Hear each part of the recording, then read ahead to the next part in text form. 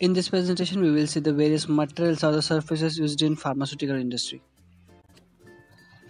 Two grades of stainless steel that is SS304 and 316 has become popular in pharmaceutical applications because of their properties such as high strength, corrosion resistance nature and affordability. Alphabet L in SS316L stands for low content of carbon.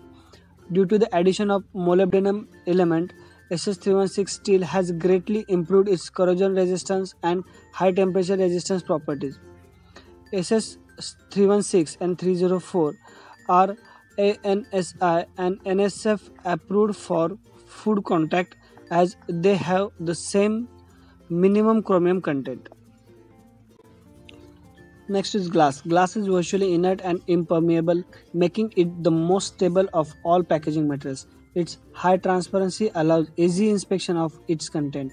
It is chemically resistant to most of the medicinal products.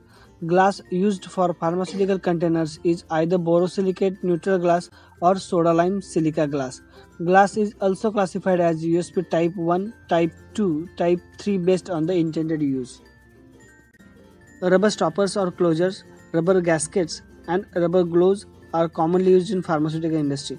The main types of rubbers used in pharmaceutical products includes natural rubber, neoprene, nitrile, butyl, chlorobutyl, bromobutyl and silicone.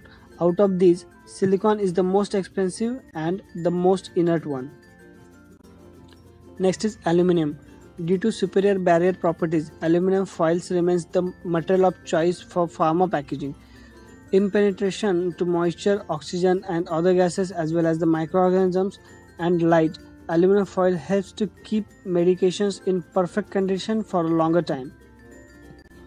Next is silicon. Silicon has the ability to withstand sterilization processes, the delivery of favorable test results regarding extractable substances, and the absence of animal derived ingredients. Silicon provides excellent biocompatibility and chemical inertness to maintain the purity of sensitive fluids. For pharmaceutical and biotechnology applications, platinum cured tubings is the exceptional choice for fluid transfer. It offers high temperature resistance and fewer potential leachables. Next is low density polyethylene and high density polyethylene. They are commonly known as LDP and HDP.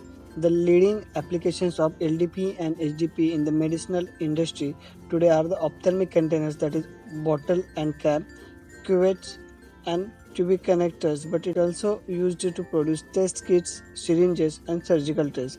Plastic provides a cost effective and reliable form of packaging for products in a variety of industries including the pharmaceutical sector. Here we have covered key materials or the surfaces used in pharmaceutical industry. Subscribe to channel for more informative videos on pharmaceutical industry.